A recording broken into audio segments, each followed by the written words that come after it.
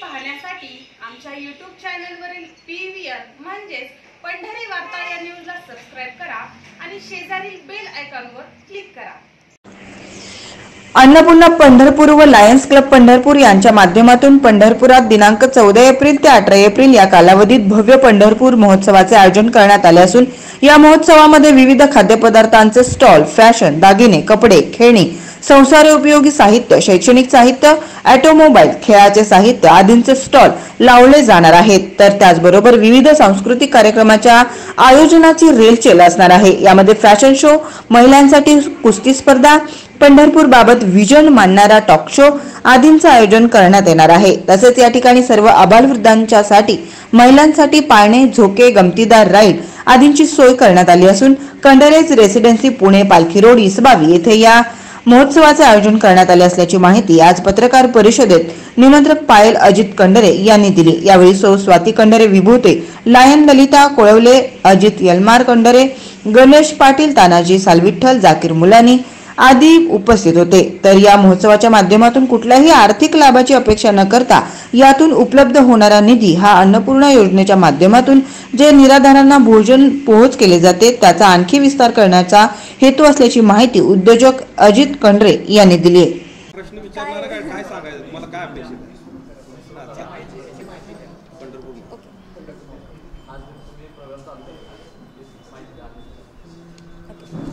So नमस्कार. पहिले तर मला पंढरपूर महोत्सवाची थोडीफार जर आपल्याला माहिती म्हटली तर पहिले आपण स्टार्ट करूया उद्देशापासून. उद्देश आपले दोन महत्त्वाचे. एक आहे आपलं फंड रेझिंग दोन कारणासाठी. एक तर आहे आपलं अन्नपूर्णा. अन्नपूर्णा पंढरपूर आपण चालू केलेलं मागच्या वर्षी. आज त्याचे पंचवीस डबे आपण देतो आहे ही योजना नेमकी काय?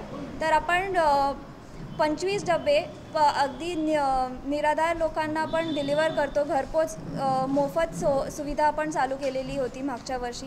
आज त्याचे पंचवीस डबे आपण दररोज देतो आहे अगदी एक पण दिवसाचा खडा न पडता. आणि त्याचबरोबर लायन्स क्लबमधलं आपलं फंडरेझिंगचं असं कारण आहे की आपण एक आय हॉस्पिटल करायचा प्रयत्न आहे.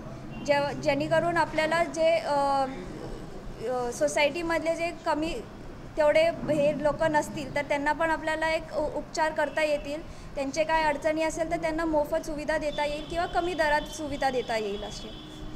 आणि पंढरपूर महोत्सव नेमका काय म्हटला? तर आपल्याला तर पंढरपूर महोत्सवाला आपल्याला तीन पार्टमध्ये डिवाईड केलेलं आहे. एक म्हणजे आपले स्टॉल्स जिथे उद्योगला आपण म महत्त्व दिलेलं आहे. आता उद्योगात स्टॉल्स म्हटल्यावर त्याच्यात वे विविध प्रकारचे स्टॉल्स आले. अगदी त्याच्यामध्ये इंडस्ट्रियलिस्ट आले किंवा स्टॉ खेळणी असेल किंवा कपडे असतील फर्निचर असेल किंवा मग अगदी शेतकरी पण असेल तर शेतकऱ्याचे पण वेगळे विविध प्रकार असतात. त्याच्यात मग ते पशुखाद्य असेल किंवा मग ट्रॅक्टर असतील किंवा बीज असेल तर ते वेगळ्या वेगळ्या पद्धतीचे सगळेच फार्मर्सचे प्रोडक्ट्स आपल्याबरोबर जोडले जातात. त्याचबरोबर दुसरा पार्ट म्हणजे आपलं एंटरटेनमेंट आता एंटरटेनमेंट म्हणजे मंजो मनोरंजनमध्ये जर आपण बघितलं तर आपण काही स्पर्धा ठेवलेले आहेत. तर त्याच्यात लावणी स्पर्धा आहे मग फॅशन शो आहे आणि डान्सची स्पर्धा ठेवलेली आहे. आता ह्या स्पर्धा आपले प्रोत्साहन मिळावं आपल्या लोकल लोकांना जेणेकरून ते जास्तीत जास्त त्यांचा त्यांची कला प्रस्तुत करू शकतात. या पद्धतीने आपण ह्या कारणाने आपण ठेवलेले आहे.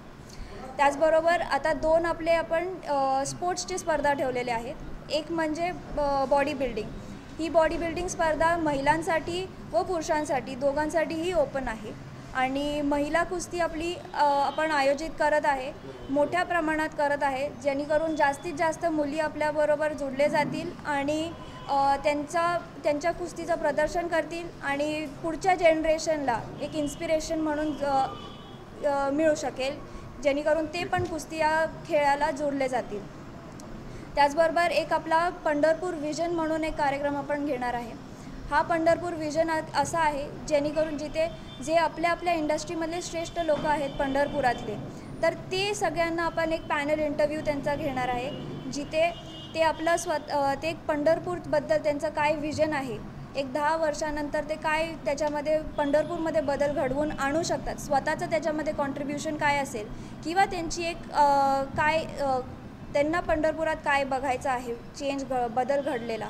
तर त्या पद्धतीने ते आपलं मनोगत व्यक्त करू शकतील आणि एक पॅनल इंटरव्ह्यू राहील जिथे आपले पण प्रश्न कॉमन लोकांचे पण प्रश्न त्यांच्यापर्यंत पोचू शकतील.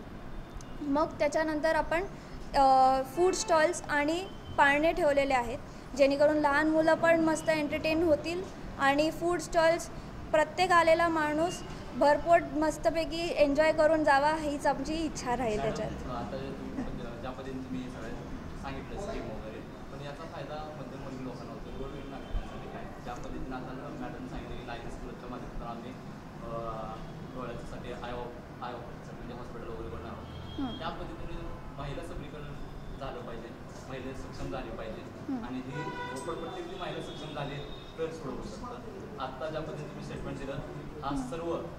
जो काही भाग आहे तो फक्त मध्यमवर्गीय लोकांसाठी आहे. यावर काय सांगू?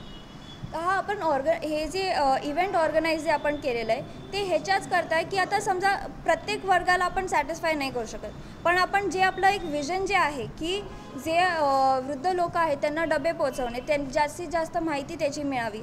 आता प्रत्येक कार्यक्रम प्रत्येक अँगलला आपण जर केलं तर ते आपण एकाला पण सॅटिस्फाय नाही करू शकणार.